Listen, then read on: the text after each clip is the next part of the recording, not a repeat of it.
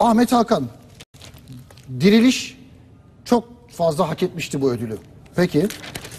Çeviriyoruz sayfayı. Ayşe Arman. Vallahi ne güzel oldu Diriliş'in bu ödülü alması.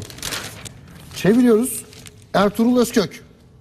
Jüri üyesi olarak Diriliş'e tam oy vermiştim.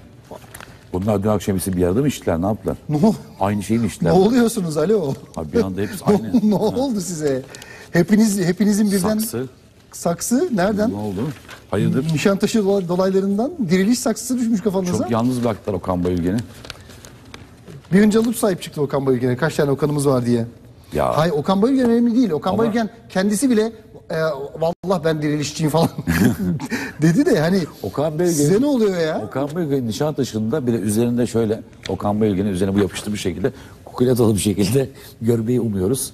Ee, o şekilde yaparsa Okan Bayülgen o zaman kendisini affetme imkanımız olabilir diye Altan düşünüyorum. fon müziği verelim mi hocam?